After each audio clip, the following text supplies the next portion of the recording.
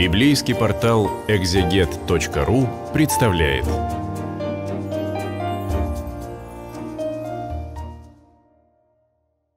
Здравствуйте, братья и сестры, все любящие Слово Божие. Мы продолжаем с вами исследование книги «Деяния апостолов» на библейском интернет-портале exget.ru. И сегодня мы с вами рассмотрим 17 главу. Пройдя через Амфиполь и Аполлонию, они пришли в Фессалонику, где была иудейская синагога. Павел по своему обыкновению вошел к ним и три субботы говорил с ними из Писаний. Открывая и доказывая им, что Христу надлежало пострадать и воскреснуть из мертвых, и что сей Христос есть Иисус, которого я проповедую вам. И некоторые из них уверовали и присоединились к Павлу и Силе, как из еленов, чтущих Бога великое множество, так и из знатных женщин немало. Но неуверовавшие иудеи, возревновав и взяв с площади некоторых негодных людей, собрались толпою и возмущали город, и, приступив к дому и Асона домогались вывести их к народу. Не найдя же их, повлекли Асона и некоторых братьев городским начальникам, крича, что они, они всесветные возмутители пришли и сюда. Такая вот ситуация. Мы видим, что апостол Павел продолжает свое путешествие, приходит в Фессалонику, где, как сказано, была иудейская Э, синагога. Когда милостью Божией еще в хорошие благодатные времена группой, с группой паломников э, мы посещали Святую гору Афон, то в любом случае прилетаешь в этот город, в Фессалоники. И вот э, помню, что когда мы улетали обратно, то была задержка рейса на два дня. Я очень переживал, думал, зачем эта задержка, мне уже надо быть в Москве с этими рейсами, вот, и, ну, как всегда, ропот какой-то. Но потом решил э, походить по салоникам, и мы с одним, вдвоем остались с одним человеком, вот наш рейс именно откладывался, разными летели рейсами с группой. И, ну, конечно, мы сходили Дмитрию Солунскому, в этот огромный собор, посетили и святителя Григория Палама, где его мощи, другие святыни. И потом уже, когда спускались в море, к морю, чтобы найти какое-то кафе, вдруг я с правой стороны увидел огромное здание. Такое видно, что это было культовое сооружение. Когда я подошел поближе, я увидел, на ней был, на, была табличка, было написано «Синагога». Тогда я открыл 17 главу книги «Деяниях апостолов», Священное Писание я всегда ношу с собой, и прочитал эти слова, еще многие, есть некоторые фрагменты Священного Писания «Город Салоник». И а, там стоял охранник. Я у него спросил, а какого года, потому что не написано было, это синагога, он говорит, ну, я вот не могу сейчас вас пустить, здесь все закрыто, но я вам скажу, что эта синагога, она примерно третий век до Рождества Христова. Я говорю, и сколько времени она здесь? Она говорит, всегда, вот с третьего века до Рождества Христова, это центральная синагога. И тогда я, отойдя от синагоги, перекрестился в сторону православного храма и понял, что именно в этой синагоге проповедовал апостол Павел, потому что это была центральная синагога возле берега моря. Вы не представляете, братья и сестры, какое состояние, когда ты проходишь вот по этим местам, зная Священное Писание, соприкасаешься со всем этим, это обыкновенно, необыкновенно такое внутреннее состояние, да. Итак, мы видим, что здесь были и женщины э, из Еленов. А что это были за женщины из Еленов, которые были в синагоге?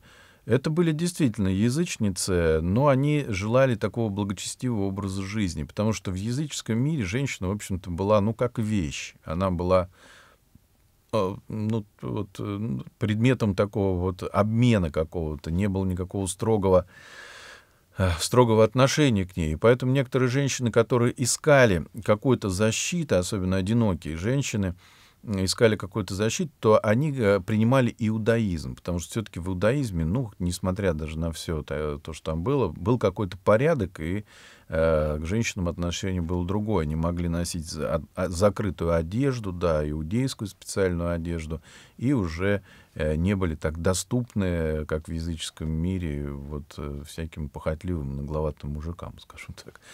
Поэтому они принимали с охотностью, такие желая какой-то благочестивый образ жизни, они при, принимали так называемые прозелитки, принимали иудаизм.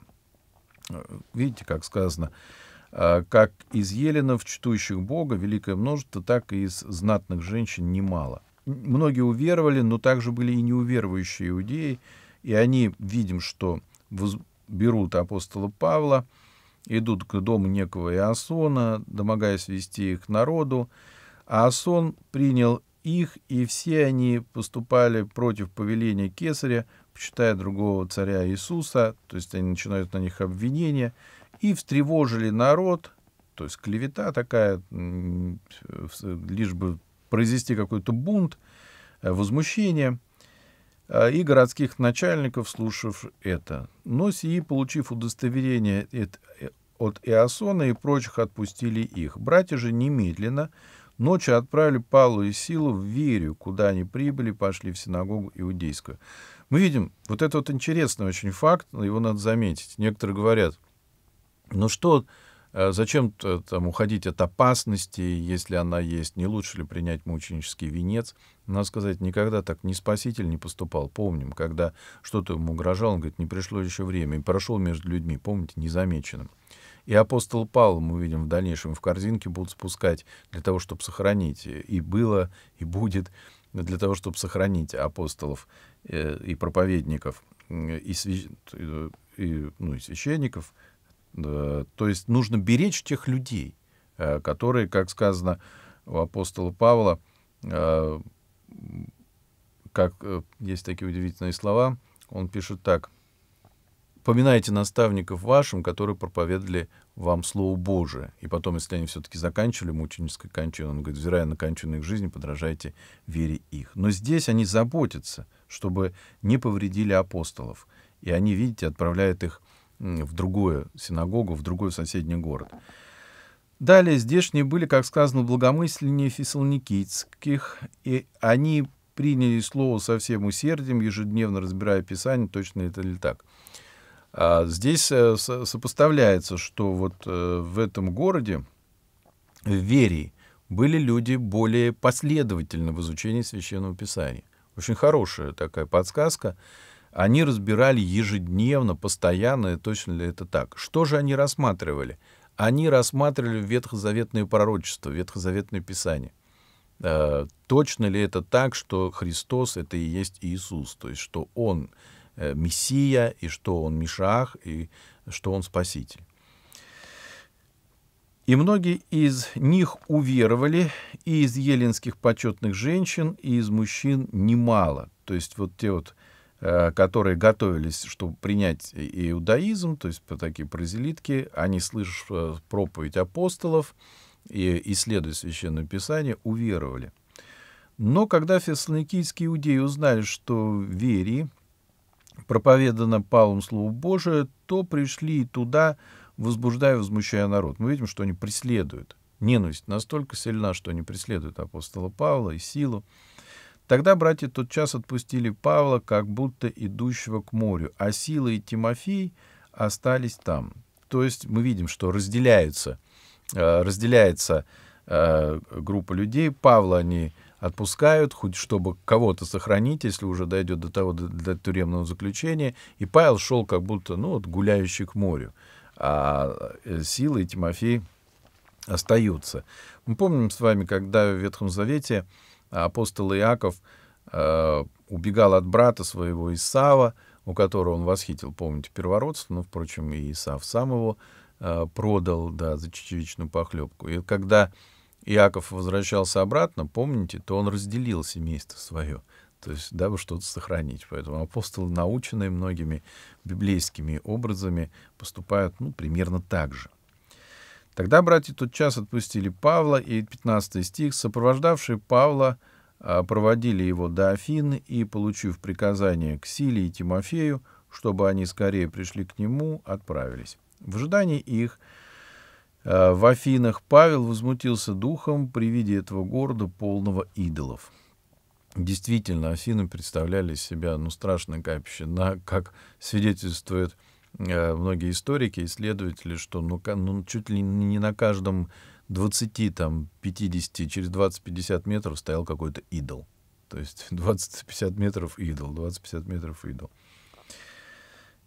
Итак, он рассуждал в синагоге с иудеями и чтущими Бога ежедневно на площади со встречающимися.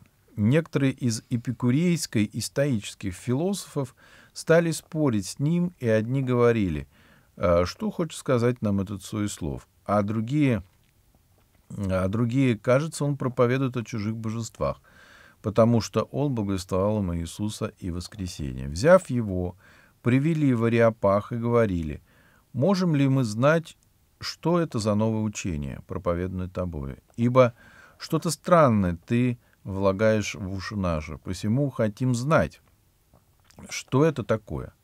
Афиняне же и все живущие у них иностранцы ни в чем охотнее не приводили время, как в том, чтобы говорить или слушать что-нибудь новое. Мы видим, что здесь э, две философские школы — эпикурейская и стоическая. Но если кратко сказать, эпикурейцы — это гедонисты. Эпикур, а, его детство, оно проходило достаточно ну, такое, ну, скажем, жестокое, что ли, детство по отношению к нему именно. Его мама часто била, запирала в чулан, а, поэтому, когда он вырос, э, то он познакомился там с неким Зеноном, с его писаниями, с, с, э, потом создал свою эпикурскую школу и э, вывел такую концепцию. Для того, чтобы не было страданий, зла, надо создать такое, такое место, и действительно, и его произведения, сады, и э, то есть нечто подобное земному райскому саду, где бы было все, все наслаждения, все, что ты хочешь, ни в чем себя не сдерживать, такой гедонизм. Вот в этом был весь смысл эпикурейства. Стоики были более строгие. Люди Э, но весь стоицизм, он, э, в общем-то, был в том, что там была философия пантеизма, то есть религия ты все есть Бог, Бог изливает из себя все. Но стоицизм также проповедовал и предопределение. То есть судьба, рок, э, ничего не избежать. И поэтому вот это вот выражение, которое иногда используется современным человеком, если не можешь поменять ничего, а поменяй отношение к этому обстоятельству, это как раз стоицизм. То есть, если не можешь поменять э, что-то, то поменяй отношения. Не можешь, ты впадаешь в блуд, не можешь поменять ничего. Ну, значит, э, смирись с этим. Значит, такой рок судьба. Пьянствуешь, ну, не можешь ничего не поменять. Ну, поменяй к этому отношение. Ну, все пьют. Вот это вот как раз стоицизм. То есть не надо бороться ни против, э, против чего-то, не надо противостоять своим страстям. Ну, раз не получается, ну, плыви по течению. То есть, значит, так Бог предопределил. Вот такова была философия стоицизма. Но это очень кратко. Конечно же, и там было и целое развитие, были разные школы.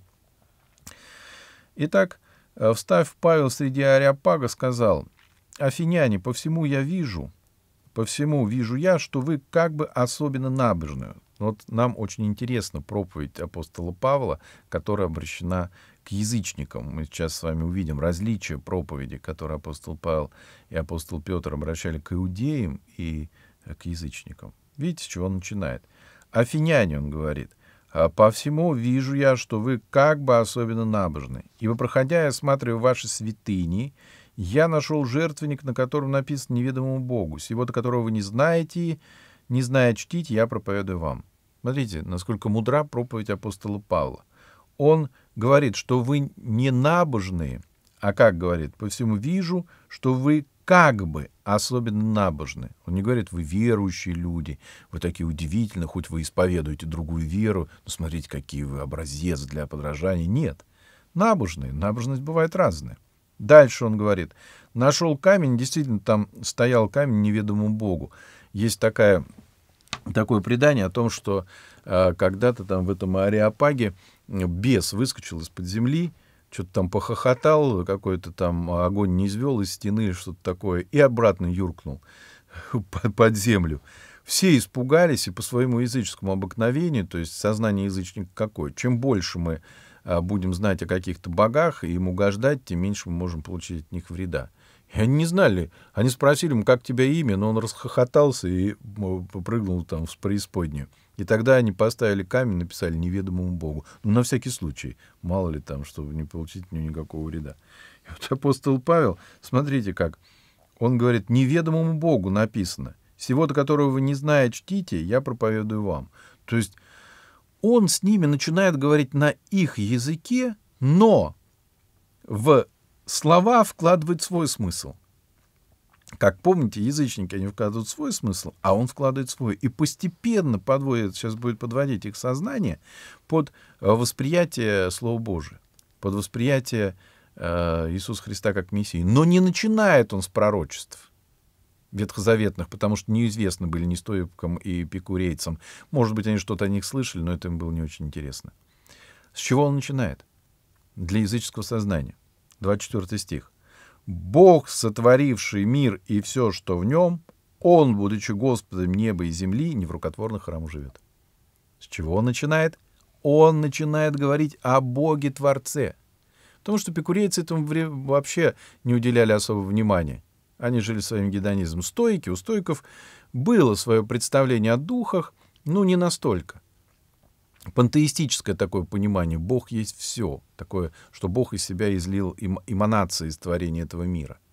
О чем же говорит апостол Павел? А апостол Павел говорит о том, что Бог, Он вездесущий, этими словами, все знающий, все ведущий, не вмещающий себя. Он во всем, но не вмещающий себя в этот храм. И он начинает свою проповедь о том, что Бог творец и промыслитель мира. Это любому человеку, занимающемуся миссионерским служением, очень хорошая подсказка. Какая? Не надо ничего выдумывать, когда мы начинаем, например, какой-то курс бесед-лекций. Надо начинать с самого первого в нашем мире, где проповедуется сегодня эволюционизм. Это на самом деле древние различные философские и еретические учения о том, что мир возник из ничего, об этом говорил, в общем-то, Аристотель, это не прогресс, да, а, что мир возник из воды сам по себе, об этом говорил Фалес, э, древнегреческий философ, и стоики в некой мере они были знакомы со, всякими, со всеми этими школами. Поэтому апостол Павел знает, с какими школами о происхождении мира они знакомы. С философскими. Аристотеля, Платона, сама же стоитическая школа у него было свое такое учение, которое пересекалось и с другими философскими школами о сотворении мира. И апостол Павел начинает именно с этого. Бог, говорит, сотворивший мир — Бог, сотворивший мир, все, что в нем, Он, будучи Господом, то есть господином неба и земли, Он единственный собственник во вселенных, не в рукотворных храмах живет. Не можете вы вместить Бога в этих идолов. И дальше смотрите, что пишет. И не требует служения рук человеческих. То есть он говорит о том, что ваши действия, а языческое сознание хотело всегда чего? Манипуляцию Богом. Но он говорит, невозможно Богом руководить. Он не требует рук человеческих, служения рук человеческих, как бы имеющий в чем-либо нужду, сам давая всему жизнь и дыхание и все. От одной крови он произвел весь род человеческий для обитания по всему лицу земли. Теперь он переходит о том, что Бог сотворил Адама и Еву. Но смотри, как он говорит. Он не говорит и Адам, и Ева, и Бытие 3.15, и вражду положу между тобой. Нет. Он говорит с ними на философском языке но излагает им истины Божии, христианские истины. От одной крови он произвел весь род человеческий для обитания по всему лицу земли, предназначив предопределенные времена и пределы их обитания. Смотрите, предопределенные, мы сказали только что, кто верил в предопределение? Стоики, он говорит на их языке. Он говорит, что да, Бог, но он в слово предопределение вкладывает другой смысл. Он, он говорит о том, что Бог промыслитель этого мира. И положил пределы э, обитания всему народу. То есть и касается здесь вопроса национальности и народности. Э, все, что было им знакомо. Дабы они искали Бога, то есть, говорит смысл, зачем все это Бог сделал. Не ощутят ли его, не найдут ли, хотя Он и недалеко от каждого из нас. Ибо мы им живем и движемся и существуем. как и некоторые из ваших стихотворцев говорят, мы его и род. Смотрите, он еще и приводит здесь поэзию для них. Известного очень э, для них э, поэта э, из книги «Явление» поэта Арата. Они его все знали наизусть. И в, в Ариапаге он считался таким вот самым, самым известным. Ну, может быть, как у нас там, скажем, если говорить о русских, там Пушкин. Вот он приводит им цитаты из этого. Представляете, насколько он завладевает их вниманием, и слух их, в общем-то, обращен к тому, о чем он говорит. Мы его и род. Итак, мы, будучи родом Божиим, не должны думать, что божество подобно золоту, или серебру, или камню, получивший образ искусства и вымысла человеческого. Видите, как он говорит? Знаете, это огород, а в чей, в чей, в чей огород камень? В стоиков. Знаете почему? А стоики, они видели, что э, внешне вообще ничего повлиять на человека никак на его веру нельзя. Вся вера, она внутри и в человеческом интеллекте. Стойки ничего лучшего не находили, как только рассуждать, и они э, говорили так, что в логике и в рассуждениях вот начинает человек рассуждать, рассуждать, рассуждать, и в этом как раз, да, проявляется вот сила божества и понятие о божестве. Поэтому апостол Павел так и говорит. «А, получившему образ из искусства и вымысла человеческого, то есть из интеллекта. Видите? Итак, Оставляя времена неведения, Бог ныне повелевает людям всем повсюду покаяться. Теперь он их уже призывает э, к перемене ума. Он говорит им на понятном греческом языке покаяться, он говорит им метаноя. То есть, если перевести дословно, э, чтобы как, как слышали это греки. Итак, он говорит, Итак, оставляя времена неведения, то есть э, он мягко начинает, но вы раньше этого не знали, понятно. Но теперь вот я вам предлагаю. Бог ныне повелевает людям повсюду перемениться умом, переменить свое мышление. Опять он обращается к стоикам. Переменить вам свое интеллектуальное мышление. Видите как? Перемена ума, метаноя.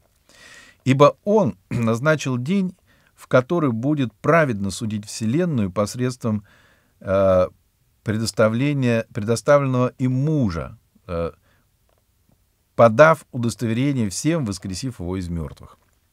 Теперь он переходит уже к более серьезному вопросу и говорит о том, что после этой жизни есть жизнь, и суд, уж кому-кому, а грекам было известно, что такое суд, они только занимались этим, что судились. Э, но вот он говорит, что есть такой муж, который воскрес из мертвых, и он будет судить мир. Заметьте, не ссылается апостол Павел здесь ни на пророка Исаия, ни, ни, ни, ни других мессианских пророчеств, ни на пророка Захария, ни, ни на псалмопевца Давида. Почему? А им это не нужно. Им это не нужно. В другом месте, когда он будет разговаривать с иудеями, он будет ссылаться. Поэтому, если мы говорим с людьми, которые поражены, например, эволюционным сознанием, что мир произошел ничего, то надо говорить именно об этом. Потом дальше нужно продолжить о том, а ученые действительно они были все неверующие. И цитировать не а, ветхозаветные пророчества, а именно цитаты ученых, которые... Почему так? А потому что для многих людей цитата ученого человека говорящую о Боге, о вере, не отрицающую, наоборот, утверждающую, она будет более весома, чем нежели Иоанн Златоуст. Для нас он дорог, и каждого слова дорого, потому что оно действительно золотое. А для людей посторонних нет. Вот это, вот это на самом деле, вот советую, это такая вводная беседа, здесь всего не расскажешь о проповеди апостола Павла, но советую вот э, самим да, поисследовать еще и у отцов. Это удивительная его проповедь обращения к язычникам. 32 стих. «Услышав воскресение мертвых, они насмехались, потому что они не верили и думать об этом не хотели, особенно пикурейцы, которые жили сиюминутными желаниями. А другие говорили, об этом послушаем тебя в другое время. Итак, Павел вышел из среды их. Э, некоторые же мужи, пристав к нему, уверовали. Между ними был Дионисий Арипагит, и женщина именем Дамарь и другие с ними. Видим, что здесь не сказано, что присоединилось после проповеди апостола Павла множество людей. Называются только два имени — Дионисий Арипагит и Дамарь. И еще там, ну, может быть, десятка или два человека. Не тысячи, как это было в другой раз. Но некоторые говорят, что эта проповедь была неуспешна. Я бы так не сказал. Присоединилось несколько, но кто? Хотя бы, скажем, Дионисий Арипагит. Это будущий епископ города Афин. Он был, как многие предполагают, из учения стоиков, такое более аскетичное учение, в отличие от эпикурейцев, и он впоследствии э, будучи христианином, уверовал с такой силой, что был избран и поставил, поставлен епископом. По, э, в этом смысле нельзя сказать, что где-то проповедь лучше, где-то хуже. Вспомним слова, э, спаси, э, вспомним слова из э, Евангелия от Иоанна, 3 глава, 16 стих. «Сказано, ибо так возлюбил Бог мир, что удал Сына Своего Единородного, дабы каждый верующий в Него не погиб, но имел жизнь вечную». Помните это слово? «Дабы каждый». Если перевести вот так вот более подробно, то э, можно перевести так. Если бы даже один погибал, Бог бы ради одного человека родился в этот мир, пострадал, умер и воскрес. Если даже один. Э, и в этом смысле можно и вспомнить а, другую историю э, о 99 овцах. Да. Если одна заблудилась, то радости на небесах больше об одной, которую Господь найдет, чем о 99 праведников. И в этом смысле не будем рассуждать, где миссия лучше или где хуже. Бог знает, где, когда, кого, зачем обратить и куда, какого миссионера послать, а где, как мы видели, и препятствия дух не давал им в предыдущей главе проходить. Поэтому будем доверяться промыслу Божию. Будем делать все, что зависит от нас, а, а в остальном уповать на Бога. И вспомним слова Э, Максима, святого Максима Исповедника. Как он и говорил, Бог и я — это уже большинство, причем подавляющее.